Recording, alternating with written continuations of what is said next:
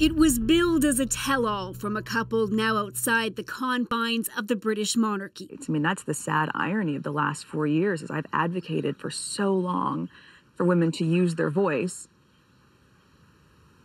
And then I was silent. Um, were you silent or were you silenced? The latter. The two hour interview comes amid mounting friction between Buckingham Palace and the Duke and Duchess of Sussex.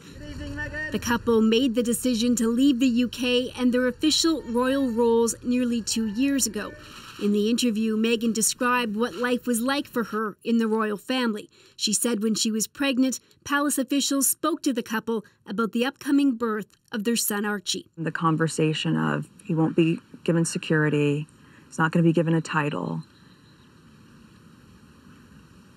And also concerns and conversations about how dark his skin might be when he's born. She says tabloid scrutiny and life within the royal family made her miserable and lonely. She says at her lowest point, she thought about committing suicide.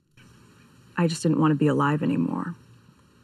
And that was a very clear and real and frightening constant thought. Before this interview, Meghan accused the palace of orchestrating a smear campaign. Last week, the British newspaper The Times ran a report where sources claim she treated some of her staff so badly that they quit. The palace, which normally is silent on anything published in the papers, said it was concerned about the allegations and would investigate, which it notably did not do over Prince Andrew's sexual abuse allegations. Not only was I not being protected but that they were willing to lie to protect other members of the family, but they weren't willing to tell the truth to protect me and my husband. CBS reportedly paid at least $7 million to air the interview, which hit prime time in North America just hours after the Queen's own message. Looking forward, relationships with others across the Commonwealth will remain important. In that broadcast, there was no hint of the rift or some of the dark revelations made in the interview. Now, Meghan admitted that she was very naive uh, when it came to marrying into the royal family. She didn't know just what to expect, but she said initially everybody was very welcoming to her. She said that that really changed after the tour that she and Harry took to the South Pacific. After that, the couple said that they really felt trapped and felt they had no other option but to leave.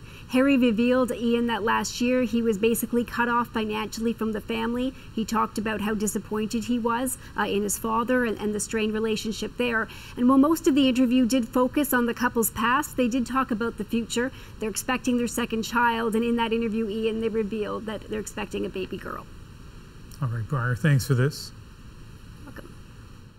So, royal watchers such as Sarika Bose are keeping a close eye on the interview tonight. She's a lecturer at UBC and joins us from here in Vancouver. So, lots of details in there. Sarika, what are your thoughts about what you've just watched?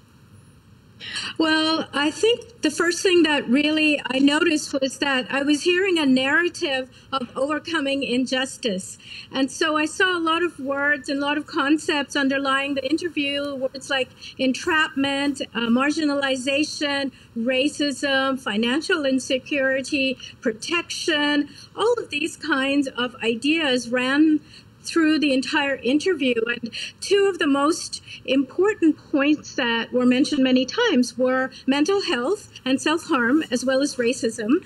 And the idea was that there was a great deal of racist behavior once two things happened. One was the Australian tour, and one was the announcement of the new baby. And there was discussion about not giving the baby a title, discussion about the color of the baby's skin, and discussion really about racist attitudes in the royal family. And I think that particular discussion is probably the most damaging to the royal family. And there's going to be a lot of discussion to come. We literally have 15 seconds, but let me just ask you are you surprised at the, the level of candor in that interview? I'm not very surprised, no. All right. Sarika, uh, thanks for joining okay. us. Okay. Thank you.